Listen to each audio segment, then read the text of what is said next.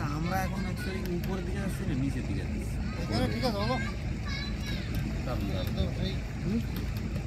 আমি উপরের দিকে যাচ্ছি। আবার এখানে কেন আসছিস?